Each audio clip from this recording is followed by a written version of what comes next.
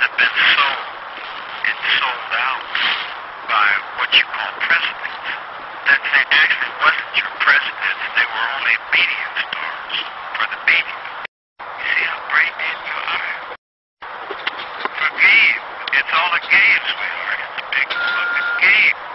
It's a game you're born into. Your babies are sitting there watching TV.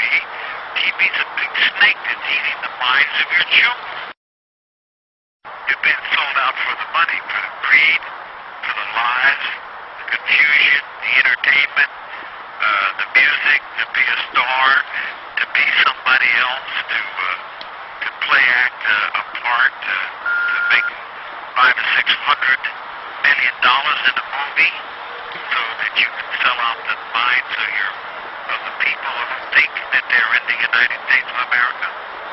That the United States of America was lost when Abraham Lincoln divided and conquered it.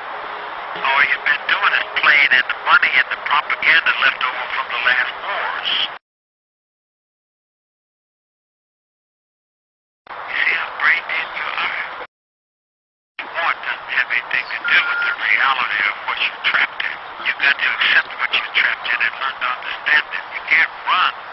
There's no place to run. You have to face the truth yourself You can't look for no one or no one else. You've got to look right here to me. And me is my me of you. You are me. I am you. There is only one world. And the one world starts with the atmosphere you're breathing, the trees and the green things and the kelp and the ocean's content that you need for breath, for air, for all breathing creatures and critters.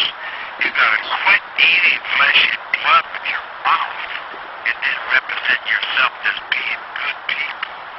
Say thou shalt not kill when you're butchering up every kind of This recorded call is from an inmate in a California correctional barbecue and talk about that it's cold, it's okay to eat other people who are just as much alive as you are. I mean, you know, I was raised to eat meat. You know, I used to be a uh, steak guy. You love steak, I kept looking at the cow thinking, what am I doing eating this?